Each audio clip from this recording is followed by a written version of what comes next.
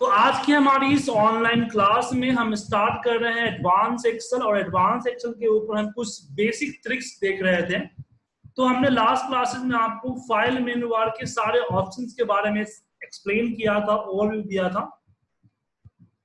हालाँकि इसमें से मोस्टली ऑप्शंस तो आपको पहले से आते थे, लेकिन कुछ चीज़ें नया आपको सीखने को मिला होगा। उसी तरीके से हम बात करेंगे आज एक्सेल ऑप्शंस की। ऑप्शंस मतलब कि जो एक्सेल की डिफ़ॉल्ट सेटिंग है उसको चेंज करना अपने अकॉर्डिंग तब यहाँ पे एक सवाल उठता है जो कि कल ही मैंने आपको एक्सप्लेन किया तो आज ही मैं एक्सप्लेन कर रहा हूँ कि दूसरे, तीसरे दिन ही हम एक्सेल की सेटिंग को क्यों पढ़ रहे हैं? तो मैंने कल ही बताया था और आज ही बता रहा हूँ कि जैसे हम कोई भी नए नए चीज़ लेते हैं सेलफोन ही लेते हैं तो उसकी जो डिफ़ॉल्ट सेटिंग होती है, उसको अपने अकॉर्डिंग सेट करते हैं। तो यहाँ भी जो डिफ़ॉल्ट सेटिंग है, उसको अपने अकॉर्डिंग सेट करना। तो चलिए क्या क्या इसकी सेटिंग है? अब इसमें हर एक चीज़ आपको मैं एक्सप्लेन नहीं करूँगा क्योंकि तो जो हमें बेनिफिट है हमसे हमारा जिसको चेंज करने से हम उसी चीज़ को करेंगे ठीक है? ठीक है सर जैसे कि एग्ज़ाम्पल में आता है अनेबल लाइव रिव्यू जैसे को, कोई भी अगर कलर अप्लाई करते हैं तो उसकी जैसे आप माउस पॉइंटर मूव करते हैं आपको वहाँ पे कलर बता देता है कि हाँ एक, एक कलर तो इस तरह के फीचर्स अगर डिसेबल है आपके सिस्टम में इसका मतलब है कि आपको एक्सेल ऑप्शन में किसी ने अनेबल लाइव रिव्यू को अनचेक कर दिया है। अनेबल लाइव रिव्यू को अनचेक कर दिया है। दूसरी चीज़ यहाँ पे आगे बात करते हैं कि हमने बताया था कि किसी भी फीचर्स को जानना हो तो उस पर कर्सर रख सकते हैं तो उसके बारे में पता चल जाता है शॉर्ट नोट्स पता चल जाता है। लेकिन कभी कभी दिक्कत होती है। इसको दो केसेस में प्रॉब्लम हमें होती थी। पहले केसेस में अगर मैं किसी का इंटरव्यू ले रहा हूँ मैं किसी का इंटरव्यू ले रहा हूँ तो इंटरव्यू में क्या होता है कि आ, हम ये चाहते हैं कि एक रियल इंफॉर्मेशन हो। मान लीजिए उसी से मैंने पिवट टेबल के बारे में पूछा या किसी फीचर्स के बारे में पूछा तो उस पर कर्सर रख के उसके हेल्प को देख के वो ये ना अंदाज़ा लगा सके कि ये होता है। दूसरी चीज़ है, हम जब स्क्रीन शॉट लेते हैं, अब स्क्रीन शॉट क्यों लेते हैं? जैसे मान लीजिए किसी ने मुझे डेटा भेजा और यहाँ पे गलत है राइट तो मैं उसको फ़ोन करके बोलूँगा कि भाई डेटा में बजाज ऑटो का जो है सेल्फ क्वांटिटी है, गलत है तो देख लो। उसको एक्सप्लेन करना पड़ेगा और उसको ढूंढना पड़ेगा। तो हम क्या करते थे कि हम इसको सिलेक्ट यहाँ जैसे कि इसको सिलेक्ट कर लिए, इसको हाईलाइट करते थे और हम इसकी प्रिंट स्क्रीन मतलब कि स्क्रीन शॉट लेते हैं और स्क्रीन शॉट लेने के बाद इसको हम मेल कर देते हैं। हम यहाँ पे ठीक है? तो इसको पता चल जाता है कि वो यहाँ पे गड़बड़ है। साफ़ दिख रहा है? ढूँढने की ज़रूरत नहीं है। ओके लेकिन yes, क्या कभी कभी क्या होता है कि मान लो हम प्रिंट स्क्रीन ले रहे हैं और मेरा कर्सर गलती से ऊपर चला गया तो ये हाइड हो जाता है। हो रहा है ना सर? मतलब कि हिडन yes. तो हमें दोबारा प्रिंट स्क्रीन लेना पड़ता है। वहाँ पे होता है जो बहुत ज़्यादा काम करते हैं किसकी? आ, उसका बोलते उसको चेकिंग की। मतलब कि जो रिकॉन्सलेशन होता है मतलब कि जो टेस्ट टेस्टिंग होता है, वो टेस्टिंग की मैं बात कर रहा हूँ। जो ज़्यादा टेस्ट करने का काम करता है, वो जो है, इस फीचर को बराबर यूज़ करता है। तो उस केस में आप जो है एक्सेल ऑप्शन में यहाँ डॉन सो स्क्रीन टिप कर देंगे तो कर्सर रखने पे आपका ऑप्शंस की जो टिप्स दिखते हैं, जो ट्रिक्स दिखते हैं, वो नहीं दिखे। अब इससे आगे बढ़ते हैं। अगला ऑप्शन इसमें आता है। When the creating the new workbook जब आप नई वर्कबुक क्रिएट करते हैं तो डिफ़ॉल्ट फॉन्ट साइज़ व्यू और नंबर ऑफ़ डिटेल सीट्स जो है, इसकी डिक्लेरेशन आप यहाँ कर सकते हैं। जैसे बहुत सारे लोग, जैसे मैं यहाँ पे एरियल फॉन्ट ले रहा हूँ, लेकिन बहुत सारे लोग एरियल नहीं लेते हैं। बहुत सारे लोग एरियल फॉन्ट नहीं लेते हैं। ठीक है? उनका खुद का फॉन्ट होता है। आप लोग भी आप कैलिबरी लेते होंगे या कोई और फॉन्ट लेते होंगे तो हर बार आपको फॉन्ट चेंज करना पड़ता है। कि अगर आप मोस्टली उसी फॉन्ट को यूज़ करते हैं, आप मोस्टली उसी फॉन्ट को यूज़ करते हैं तो क्यों ना आप यहाँ से अपनी फॉन्ट को डिफ़ॉल्ट सेट कर दे कि आपका फॉन्ट जो है, वो डिफ़ॉल्ट जो है, वही रहेगा, कोई और फॉन्ट यहाँ पे शो नहीं करेगा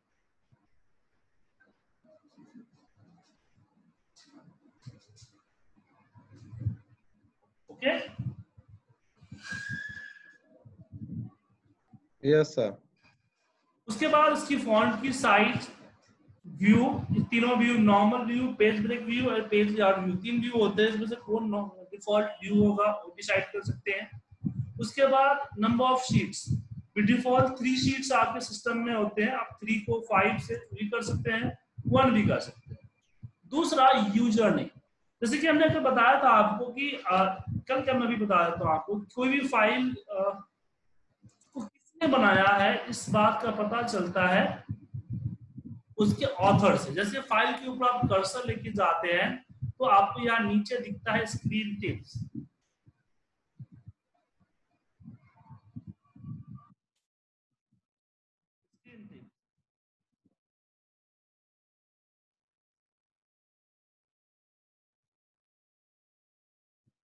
स्क्रीन टिप्स क्या होता है? ये जो आपका फ़ाइल से रिलेटेड शॉर्ट इन्फॉर्मेशन होता है तो जैसे इसमें कर्सर हमने रखा तो कर्सर रखते ही हमें इसके बारे में एक शॉर्ट इंफॉर्मेशन मिल गई। और इसमें देख रहे हैं आप ऑथर देख रहे हैं ऑथर आईपीटी एक्सेल स्कूल तो ये जो आईपीटी स्कूल क्या है? ऑथर है मतलब कि इस फ़ाइल को आईपीटी स्कूल ने बनाया है। तो क्या होता है कि आपका जो डिफ़ॉल्ट जो यूज़र आईडी होता है ना, जिससे आप विंडो लॉगिंग करते हैं वही आपका ये होता है। यूज़र का ये होता है मतलब कि यूज़र नेम चल जाता है, जो आपका डिफ़ॉल्ट होता है। तो यहाँ पे हमारा यूज़र नेम जो है आईपी टेक्स स्कूल्स है, क्योंकि मेरा login ID IP tex school है। अब इसको अपने हिसाब से चेंज कर सकते हैं। इसको चाहो तो आप जो है अपने हिसाब से जो रखना चाहे, वो रख सकते हैं। Okay okay sir.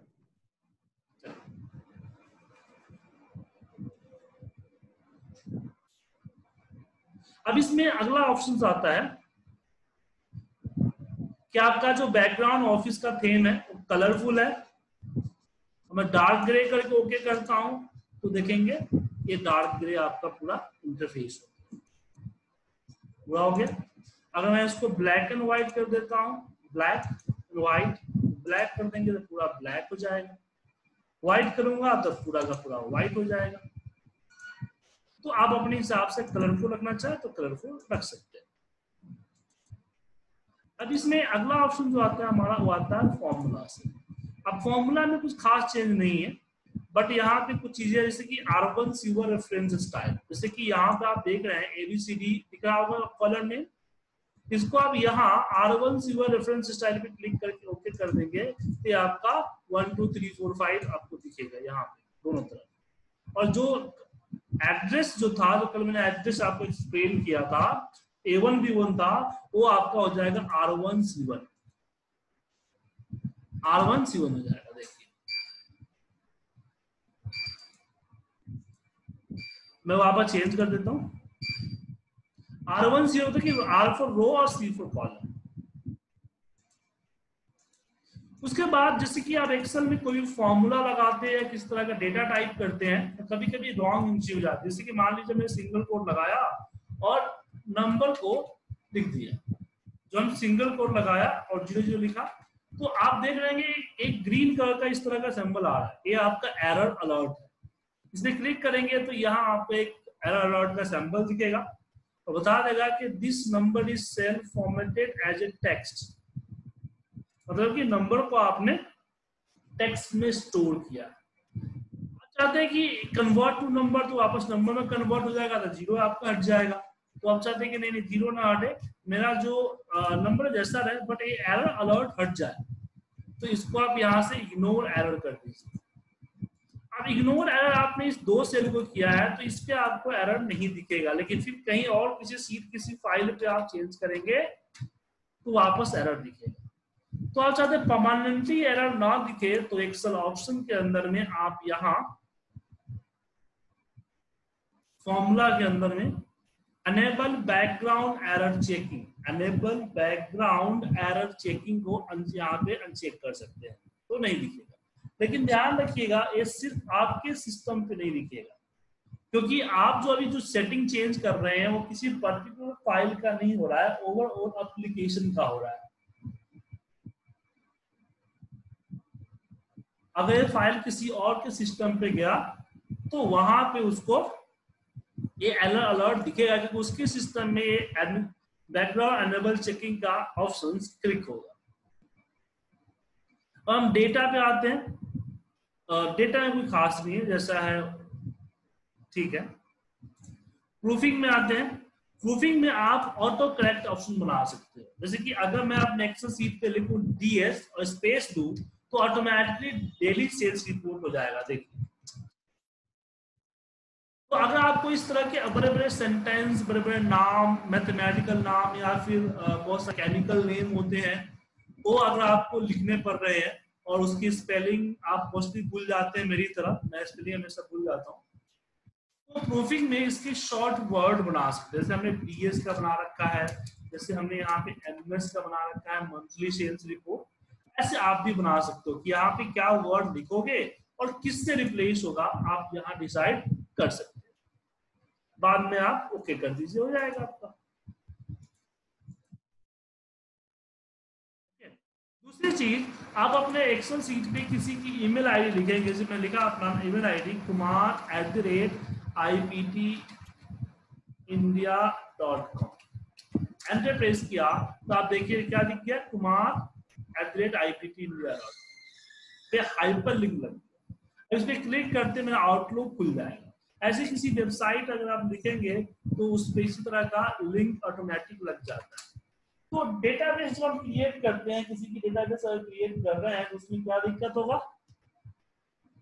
कि हम उसको सिलेक्ट करने जाएँगे, और ऑटोमेटिक उस पर क्लिक हो जाएगा। जैसे हम सिलेक्ट करेंगे ऑटोमेटिक क्लिक हो जाएगा। सो so, हम चाहते हैं फीचर ना हो क्योंकि इससे प्रॉब्लम होगी। तो एक्सेल ऑप्शन में हम यहाँ प्रूफिंग में ऑटो करेक्ट पे आएँगे और यहाँ auto format as you type वाले ऑप्शन पे इसको अनचेक करेंगे। इसको अनचेक कर देंगे network and internet and network path with hyper link को अनचेक कर देंगे तो ये आपका अनचेक हो जाएगा। तो फिर आपका किसी भी तरह का ईमेल आईडी किसी तरह का वेबसाइट एड्रेस अगर आप टाइप करते हैं उस पर हाइपर लिंक अप्लाई नहीं होगा। नेक्स्ट हम बात करते हैं सेव सेव थोड़ा सेव थोड़ा सा इंपॉर्टेंट है। जैसे कि हमने कल आपको बताया था कि जब भी आप फ़ाइल को सेव करेंगे तो उसको आप एक्सलेस वर्कबुक में सेव करते हैं। डिफ़ॉल्ट ही एक्सलेस एक्स आता है। लेकिन हमने बताया था आपको कि जो माइक्रो वाली फ़ाइल है, जिसमें हम कोडिंग करते हैं, ऐसी फ़ाइल को हम जो है माइक्रो अनेबल वर्कबुक सेव करते हैं। जी हाँ माइक्रो अनेबल वर्कबुक क्योंकि एक्सलेस एक्स मतलब कि जो एक्सेल वर्कबुक वाली फ़ाइल है, वो माइक्रो की कोडिंग को स्टोर नहीं करता है। तो ये इसका यूज़ आप कर सकते हैं। अब इसमें अगला ऑप्शन आता है कि मुझे बार बार यहाँ इसको सिलेक्ट करना पड़। कभी कभी मैंने मान लीजिए कि बहुत सारे प्रोग्रामिंग बनाया और गलती से मैंने गलती से मैंने फ़ाइल को सिलेक्ट कर लिया डॉट एक्सएल तो दिक्कत हो जाएगी फिर। मेरा सारा माइक्रो लॉस हो जाएगा। दूसरी चीज़, अगर मैं सारी फाइलों को माइक्रो नेबल वर्कबुक में लिखूं तो कोई प्रॉब्लम नहीं है, क्योंकि तो इस फॉर्मेट में हम माइक्रो भी रख सकते हैं और एक्सेल का डेटा भी रख सकते हैं।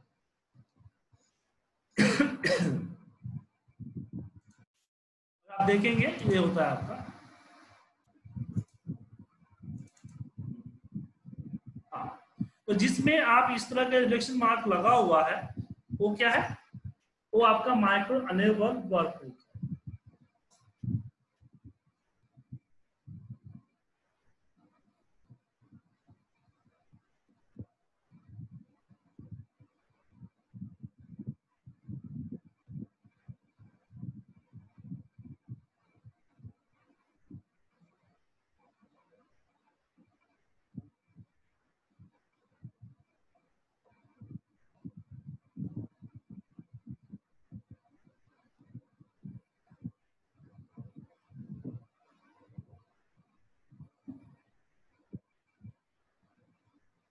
और जिसमें नॉर्मल है इस तरह का फ़ाइल है वो आपका एक्सेल वर्क तो इसमें मान लीजिए स्पेशल मार्क लगा हुआ है इसका मतलब नहीं कि इसमें माइक्रो होगा माइक्रो हो सकता है। तो आ, मैं मैंने क्या कर रखा है जब भी मैं सेव करता हूँ तो मेरा बाय डिफ़ॉल्ट जो है माइक्रो अनेबल वर्क ही सिलेक्ट होता है। क्योंकि मैंने एक्सेल ऑप्शन पे सेव पे हमने यहाँ पे डिफ़ॉल्ट फ़ाइल फॉर्मेट को इसी को सिलेक्ट कर रखा है। डिफ़ॉल्ट फ़ाइल फॉर्मेट को हमने सॉरी इसी को सिलेक्ट कर रखा है। आगे बढ़ते हैं। यहाँ पे आता है ऑटो रिकवर क्या होता है कि कभी कभी आपकी फ़ाइल सिस्टम की गलती के कारण बंद हो जाता है। सिस्टम के गलती के कारण बंद हो जाता है। जैसे फ़ाइल हैंग हो जाना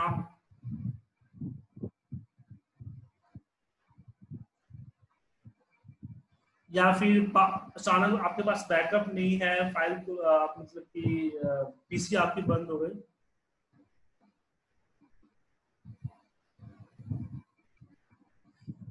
इस केस में, देखिए, आपने अगर खुद से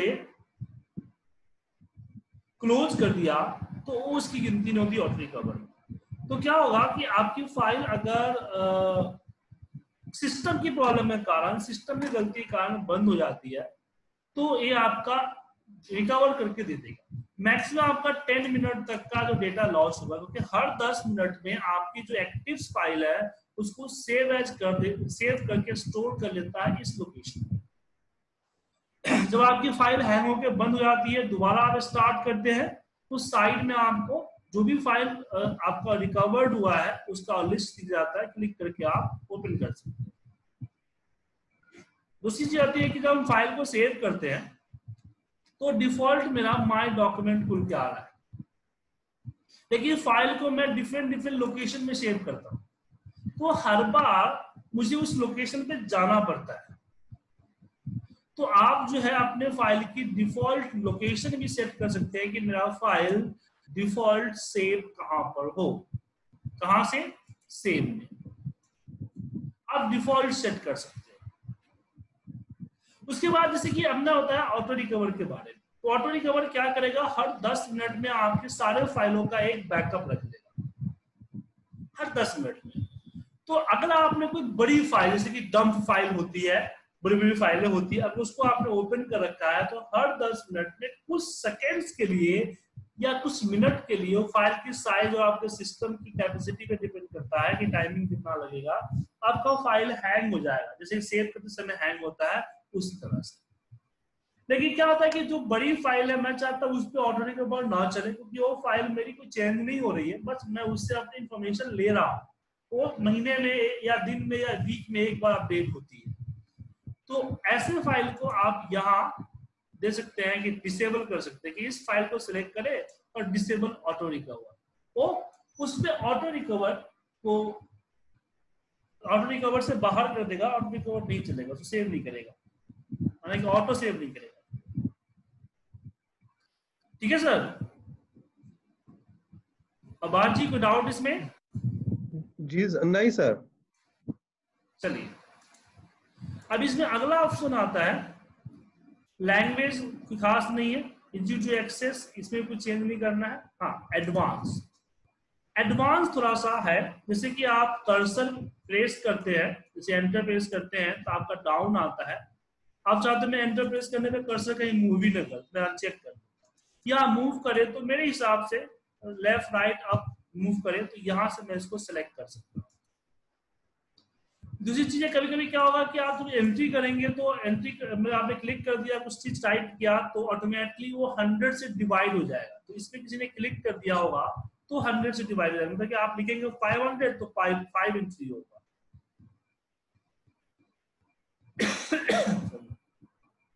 अब जैसे देखिए अनेबल फिल हैंडल आपको दिख रहा होगा, जैसे हम लोग दादा को सिलेक्ट करके हम ड्रैग कर देते हैं। तो इस पे क्या होता है कि अनेबल फिल हैंडल में क्या हुआ कि इस पे क्लिक है तो ड्रैग होगा अनक्लिक कर दिए तो ड्रैग नहीं होगा। ऐसी इसकी छोटी मोटी चीज़ें हैं, आप एक बार देख लेंगे अपने हिसाब से। कोई खास इसमें चीज़ें नहीं, जैसे कि सो होरिजेंटल बार ये होरिजेंटल एक स्क्रॉल बार होता है ना scroll bar score bar save कर सकते हैं जो सीट के नेम है इस सीट के नेम यहाँ से शो करवा सकते हैं। ऐसी पेज ब्रेक्स हो गया, ज़ीरो शो करवा सकते हैं, फॉर्मूला वार शो करवा सकते हैं। लेकिन इसमें जो सबसे ज़्यादा इंपॉर्टेंट है, वो है कस्टम लिस्ट अब कस्टम लिस्ट से क्या समझ जाइए जैसे कि आपने यहाँ पे जैन लिखा और लिखने के बाद आपने इसको माउस पॉइंटर लिया के नीचे की तरफ़ ड्रैग कर दिया तो जैन का मार्च आ जाएगा। फिर उसी तरीके से आपने अगर यहाँ पे संडे को सिलेक्ट किया और सन, नीचे तक तरफ़ ड्रैग किया तो संडे मंडे आ जाएगा।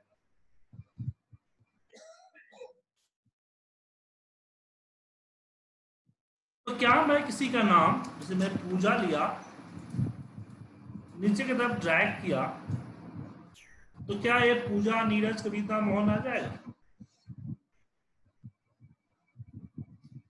मेरे सिस्टम पे आ गया बट आपके सिस्टम पे नहीं आएगा। रीजन रीजन ये है कि एक्सेल ऑप्शन के अंदर में एडवांस में मैंने एडिट कस्टम लिस्ट ले रखा है। इसमें मैंने अपने हिसाब से बना रखा है। पुणे दिल्ली नॉर्थ रहा है?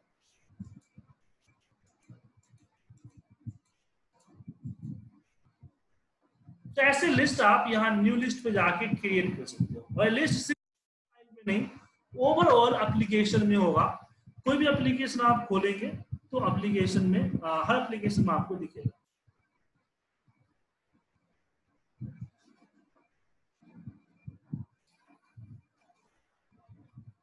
Okay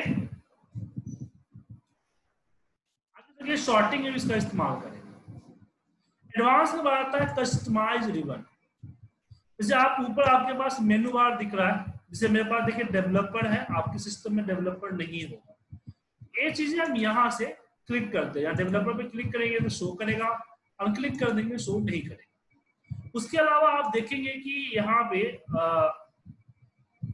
command not in ribbon दिख रहा है। मतलब इतने सारे जो ये है फीचर्स है, इतने सारे जो फीचर्स है रिवन में नहीं। तो आप मतलब आपके होम मेनू में नहीं है। या किसी भी मेनू में नहीं है। तो जिस मेनू में डालना है, उस पर आप सिलेक्ट कीजिए। यहाँ एक न्यू ग्रुप बनाइए और फिर इसको सिलेक्ट करके ऐड कर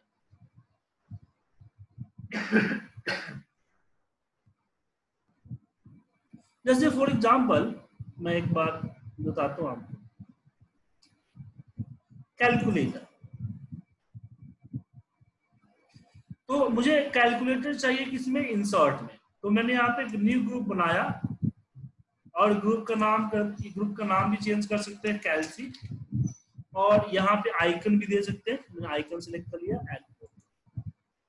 और फिर इसके अंदर अपनी कैलकुलेटर को ऑन कर दिया। कैमरा ऑन करना है तो कैमरा को भी ऑन कर दिया। ओके और देखिए इंसर्ट मेनू बार के अंदर में लास्ट में देखिए आ गया कस्टम कर दिया। अब इस पर क्लिक करते हैं, आपका कैलकुलेटर ओपन हो गया। ऐसे आप क्लिक करेंगे तो कैमरा आपका ओपन हो जाएगा। तो ऐसे नए फीचर्स आप लेके आ सकते हैं जो फीचर्स आपका अवेलेबल नहीं है।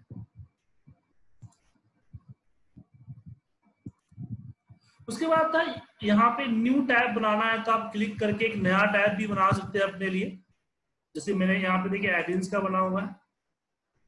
उसके बाद आता है क्विक एक्सेस टूल बार जैसे ऊपर आप देख रहे हैं ना दो चीज़ें हैं सेव सेवेज वगैरह। तो इसमें और चीज़ें भी ऐड कर सकते हैं। जैसे कि मैंने यहाँ पे ऐड कर लिया ऑल बॉर्डर तो यहाँ से मैंने सेलेक्ट करके ऐड किया, आ गया। इसका बेनिफिट क्या होगा? कि मुझे अगर इसमें बॉर्डर अप्लाई करना है तो जस्ट ऑल्ट के साथ ऊपर देखिए क्या है हमारा? फाइव ऑल्ट फाइव करूँगा तो मेरा बॉर्डर अप्लाई हो जाएगा। तो हमें क्या करना था? जस्ट ऑल्ट फाइव ऐसे शॉर्टकट्स आप बना सकते हैं। उसके बाद एडिंस आता है। एडिंस क्या है कि जैसे कि मान लीजिए कि किसी को आपने बोला कि भाई मुझे एक एक्सेल में ऐसा फीचर्स चाहिए, बना दो। तो जो फीचर्स बना कर आपको भेजेगा, उसको एडिंस में ही भेजेगा। तो आपको क्या करना है? एक्सेल एडिन सिलेक्ट करके यहाँ पे ब्राउज कर। देखिए यहाँ पे एफ़ यहाँ पे एक्सेल पास पर remover F L C form ये सब क्या है कि हमने बनवाया है। बाकी जैसे एनालिसिस टूल पे है analytics and euro currency and solver वगैरह पहले से था। तो फीचर यहाँ पे ऐड कर सकते हैं या रिमूव कर सकते हैं। दूसरी चीज़ है जैसे आप देख रहे हैं कि पावर पिवट है हमारे पास बट आपके सिस्टम में पावर पिवट नहीं होगा, क्योंकि पावर पिवट को एडिन से लाना होता है। कैसे लाते हैं? तो हम यहाँ एडिन्स पे क्लिक करेंगे, यहाँ यहाँ पे सिलेक्ट करेंगे कॉम एडिन्स एंड गो पे जाना है, यहाँ से क्लिक कर। ये सब चीज़ें आपको वन टाइम ही करना है। जो चीज़ें मैंने अभी बताई आपको, ऐसा नहीं कि आपको बार बार या हर फ़ाइल के लिए करना है। ये सारी सेटिंग जो है, आपकी एप्लीकेशन की सेटिंग है, आपको वन टाइम ही करना है। नेक्स्ट टाइम जो है आपका, एक करने की ज़रूरत रहेगा एक पीसी में एक बार ही सेटिंग होगी। क्लियर है सर यस सर ये ये किधर से यूज़ होता है सर जी? कौन सा? ये एड एंड्स एडिंग जैसे नहीं होता है आपने? जैसे कि मान लीजिए वीबीए प्रोग्रामिंग की या डीबी डॉट नेट की मदद से किसी ने आपके लिए कुछ एडिशनल फीचर्स आपके लिए डेवलप किया है तो उसको आप अपने एक्सेल की एक्सेल की ऑप्शंस में ऐड कैसे करेंगे? वो एडिंग्स के माध्यम से और ऐड करेंगे। अच्छा ये तो बाद में ज़्यादा शायद हम लोग सीखेंगे। हाँ, हाँ ये बाद में आपको सीखेंगे। अगर किसी ने एडिंग्स फ़ाइल आपको भेज दी अब एडिंग्स फ़ाइल होती कैसी है? एक बार देखिए। जैसे मान आपने मुझे बनाया कि सर मुझे एक पिवट टेबल जैसा एक फीचर बना तो मैं फीचर बना के आपको एक्सेल फ़ाइल दे दूँगा तो हर बार आपको एक्सेल फ़ाइल ओपन करना पड़ जाएगा ना। आप चाहते हो कि मेरा एक्सेल का फीचर बन जाए तो मैं उसको एडिंग्स बना के दे दूँगा यहाँ। एक्सेल ऑप्शन ये एडिंस फ़ाइल है एफएलसी वहाँ पे देखा होगा आपने। और फिर आप एडिंस की में जाके अपना सिस्टम में ऐड कर लेंगे ऐड कर लेंगे तो सारे फीचर्स आपके सिस्टम में एक्सेल एप्लीकेशन में आ जाएगा। ठीक है सर जी सर तो हमने फ़ाइल मेनू बार को पूरी तरह से खत्म कर दिया। अब इन सारे फीचर्स पे आप अपने एंड से प्रैक्टिस कीजिएगा। ठीक है? जो चीज़ समझ में नहीं आई हो या कुछ ऐसी चीज़ जो कि मैंने आपको ना पढ़ाई हो बट आपको पढ़ना है उसकी लिस्ट बना के आप मुझे कल जो है पूछ लेंगे। ठीक है सर ओके सर सर मुझे थोड़ा नहीं है आपके साथ। मैं आपको कॉल करूँ? क्या बोल रहे हैं सर मुझे थोड़ा सा बात